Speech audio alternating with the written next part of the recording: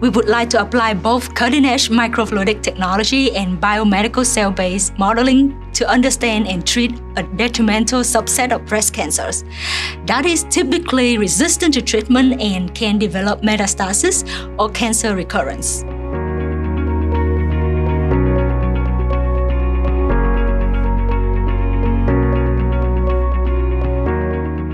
This is a collaborative project between a biologist and an engineer. We are using techniques that are commonly used in the semiconductor chip fabrication industry to make biological microfluidic chips.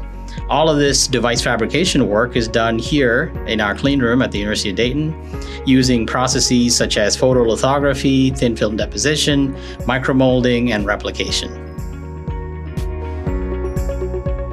We have designed, built, and tested a microfluidic platform, including multiple microchannels that allow us to capture migrating cancer cells and characterize their malignant behaviors. One unique feature of this platform is that it resembles the tumor microenvironment which primary tumor mass surrounded by multiple physical paths where the cell disseminates from the tumors. One of the new ideas we want to explore in this project is to embed tiny light sources and spectroscopic sensors inside the microfluidic chip so that we can detect these migrating cancer cells. So instead of using large tabletop microscopes, this should allow us to have a much more compact device that is more convenient to use in the future. Our goal is to generate a reliable and quantifiable platform for studying invasive cancer cells, particularly those of breast cancer, which is one of the leading causes of cancer mortality in women.